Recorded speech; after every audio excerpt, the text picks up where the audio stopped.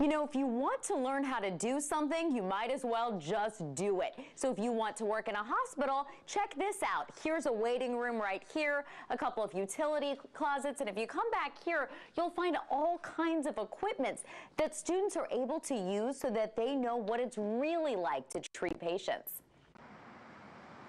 Right in the heart of the world's largest medical center. Three, four.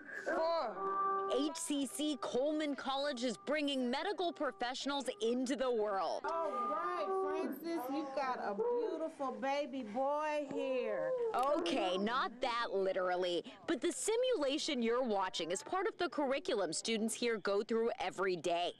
These two just graduated with associate degrees in nursing last night, and they both already have jobs lined up. My boss encouraged me to go ahead and pursue this career, and uh, I knew I could do better. I have already been offered a position in the Memorial Hermann Nurse Residency Program, and I'll start that in February. They should be able to get around their new workplaces pretty easily. This lab is designed to look and feel just like an actual hospital. We promote and encourage them to make every mistake that they could up here so we can help correct them. Okay.